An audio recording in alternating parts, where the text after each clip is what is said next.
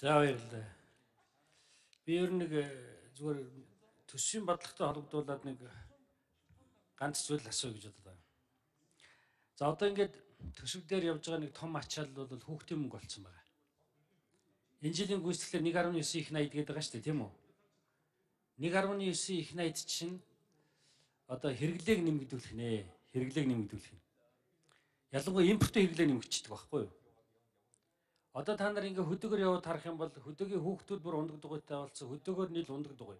Бид үйлдвэрлэдэг. Тэгэхээр тэр мөнгө чинь гаднаас авж байгаа доллараар авж байгаа. Тэр энэ хүүхдийн мөнгө бол одоо валютын нөөцийг бууруулсан, цаашдаа ханш өсгсөн, юмны үн өсгсөн. Тэгээ эргээд ард иргэдэд дарамт толох юм нөхцөл байдал болчиход байгаа байхгүй. Тэгэхээр ийм юм та нар шууд хилдэг баймаар байгаа. Эдийн засгийн төв байгууллагууд бидний хэлгээр ч улс төржүүлээд унаа шүү дээ. Та нар энэ дээр юу гэж хандж байна вэ? Жишээлбэл 1.9 их 80 дээр байна шүү дээ. Сум бүрт 320 сумд 5 тэрбумын үйлдвэр барих мөнгө баггүй юу? 5 тэрбумын нэг жилдээ. Тэгээ та нар боддоо 320 сумд 1 тэрбумын 5 үйлдвэр барихад тэнд ажлын байрны асуудал бүрэн шийдэгдэн шүү дээ. Тийм биз дээ. Нэг сумд 1 тэрбум төгрөгийн 5 үйлдвэр барих мөнгө шүү. А гэтэл зүгээр эний чинь ингээ хүүхдийн мөнгө гээд өгчгөр яах вэ? Зүгээр л хөвчин энд баас болж үлдэн а ирээнд бол хөрөнгө оруулалт болж очино. Тэр ийм юм дээр та нар дуурахгүй ингээд мэрэгжлийн байгууллагууд нь дуурахгүй болохоор чинь одоо энэ мөнгө чинь ахаад эх жил 6 сар хүртэл өгнө гэж шүү дээ. Ахаад нэг их 80 заа юу. Тэр ингээд бид нар зөрөгтэй арга хэмжээнүүд авч чаддгүй мөртлөө халамжийн юм дээр болохоор ингээд хамаагүй цацчихад шүү дээ. Тэгэхээр энэ бол валютын нөөц чинь нөлөөлж байгаа. Хоёрт ипотекийн зээлийг бооруулна гэж ингээд байна. Ипотекийн зээл буурахаар яадаг юм бэ гэж. Байшин барилга нэмэгдэхээр барилгын дотоод заслын юм уу барилгын импорт чинь нэмэгдчихдэг байхгүй юу? Ер нь 2009 10 оны сая сүүлд 15 оны хямрал чи яасан? Иннээс болсон шүү дээ. Зохицуултгүй хийж байгаа байхгүй юу? Хичнээн хэмжээний мөнгийг оруулах уу, хичнээн хэмжээний барилгын импортын материал оруулж ирэх үү гэдгээр тооцохгүйгээс болоод тооцохгүйгээс болоод валютын нөөцөө угаачаад байгаа байхгүй юу? Энэ 12-оос 16 онд бол яасан 3 их 80-ийн мөнгө гаргаад дийлэнхийн барилгын салбарт оруулаад тэр нь болохоор нөгөө барилгын импортыг нэмэгдүүлээд нөгөө валютын нөөцөө 3 тэрбум доллар угаагаа хийцэн. Тэр Монгол банк л энэ дээр одоо анхааралтай хандаж энэ улс төрчид хийлэхгүй болвол энэ чинь бид нар чадахгүй шүү дээ. Шийдэж чадахгүй. Улс төрөөсөө болоод мэрэгжлийн байгууллагууд нь хилдэг байх хэрэгтэй дээ. Сум бүрт бодолтой нэг тэрбум төгрөгийн 5 үйлдвэр ярьчих юм бол энэ амжилгааны асуудлыг чинь ажлын байрны асуудал шийдчихнэ. 100 мянган төгрөг нэг хэдхэн өдрийн хоол шүү. А хэрвээ та нар сум бүр нэг тэрбум төгрөгийн 5 үйлдвэр барьчвал насан туршид нь аав ээжийн тэжээг ажлын байр мөнгө орлого байхгүй юу? Гэхдээ ийм юм манай санхүүгийн байгууллагууд дуурдаг, хилдэг, ярьдаг байх юм бол бас арай өөр болно. А энэ улс төрчдийн одоо энэ хандж байгаа хандлагыг та нар л ингэж засаж залруулахгүй бол энэ олсон мөнгөөр энэ татар төлөгчдийн мөнгө чинь зүгээр импортын хэрэглээ болоо явчихад шүү дээ хувц сүнэр хоол хүнс. Харин зүгээр хүүхдийн мөнгө өгөхдөө тэр яг ядуу хэрэгцээтэй хэсэгт нь өгдөг бол өөр хэрэг байхгүй да. Орлоготой баян таргын хэсэгт нь хүртэл өгчөж шít. Нэг тэрбум төгрөгийн үйлдвэр гэдэг чинь асар их мөнгө байхгүй юу? Тэгвэл нэг сум бүр 5 юм үйлдвэргээ бодолтой та нар. Ингээд хийчдэг ерөнхийсэд байх юм бол энэ улс орон зүгээр сипхэл босоод ирнэ дээ.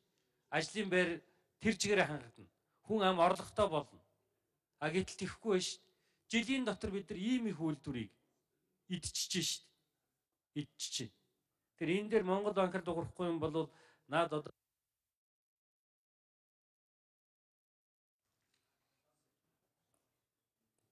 Аян 3 дугаар микрофон. Тавсрын Монгол банкны эрхлэгч. За, тавсрын гишүүний асуултанд хариулъя. Тий, Төв банкнаас явуулж байгаа мөнгөний бодлого айлхоор төсвийн бодлоготой нийцтэй байхаар ингэж зорж ажиллаж байгаа. За энэ 20 оны төсвийн үед бол төсвийн алдагдал маань 12 одоо хувьтай нэлээд тийм тэлэлтэй том төсөл төсөв байгаа. За мэдээж нийцтэй байх үднээс мөнгөний бодлого бол илүү хатуу байх уулна ийм бодлогын зөвлөмжтэй байдаг. А гэхдээ энэ 20 он бол ерөнхийдөө ковид 19 энэ вирустай цар тахалтай энэ 20 арга хэмжээ бас ингээд тавигдсан ийм үед эдийн засгийг бол сэргээхэн зайлшгүй гэдгээр Монгол банк мөнгөний бодлого бол бас л төсөвтэй бол яг нийцтэйгэр биш. Төв банкны мөнгөний бодлого бол жоохон зөөлөн ийм айдуу хэлбэрээр явж байгаа.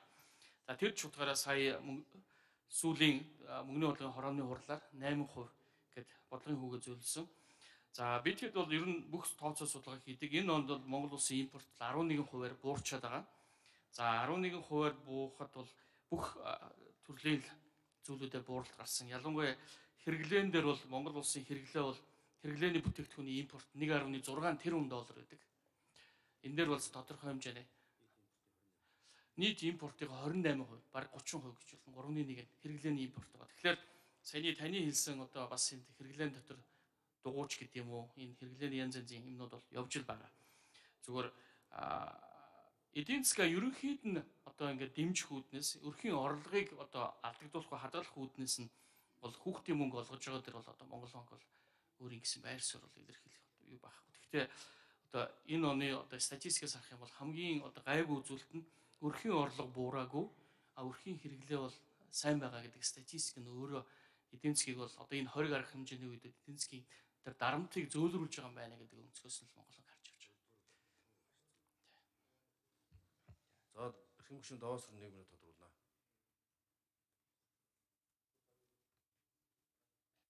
За би та бүгд бол ойлгож байна л да улс төрийн дарамттай гэдээ айгаад хэлж чадахгүй байгаа.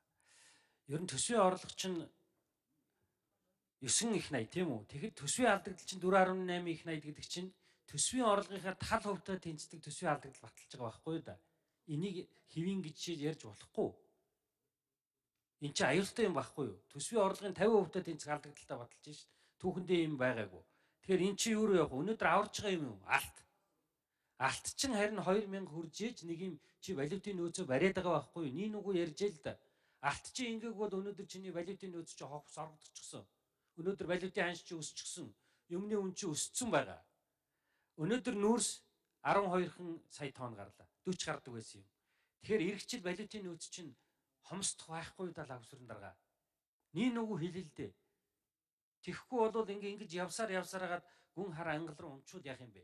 16 он шиг юм чинь болчих гээд 83 дугаар микрофон. Болон ширээ лавсрын ерөнхийлөгч. Тэгээ давсрын гişүүдээ ер нь бол санал нэг байна л да. Ерөнхийдөө импортыг одоо экспорт нь хумигдж байгаа үед бол импортыг бол бас хязгаарлах ёстой. Импортын хязгаарлах арга хэмжээнд авч авах ёстой. Яг хоо засгийн газраас өмнө нь одоо тэр хүнсний бүтээгдэхүүн үйлчилгээ нь одоо хүнсний ногоон дээр импортын татвараа нэмсэн байгаа. Ингээд нэмж байгаа юмнууд дээр нь бол Монгол банк бол дандаа энийг дэмжиж явж байгаа. За зүгээр экспортыг дэмжих тал руу нь илүү Монгол банкаас анхаарад одоо экспортын бүтээгдэхүүн экспортлох аж ахуйн нэгжүүдэд хөнгөлөлтөө зээл олох ийм арга хэмжээг сая сүүлд бас мөнгөний бодлогын хорооны хурлаар гаргасан. За энэ оны хувьд бол ханш маань өөрөө 4.4% суларч чинь гэдэг маань ханш суларна гэдэг маань өөрөө бас импортод одоо хориг саа тавих бас ийм нэг төрлийн арга хэрэгсэл гэж явдаг. Шууд бас арга хэрэгсэл. Энэ утгаараа бол Монгол банкны хувьд ч гэсэн төргийн ханш суларч байгаа энэ юм дээр нь бол бүр их огцом сулруулахгүй, бүр хатуу байрна гэдэг ийм бодлого баримтлахгүй байгаа нь бас импортыг хориглох бас ийм бодлогын нийцтэй арга хэмжээ л гэж харж байгаа.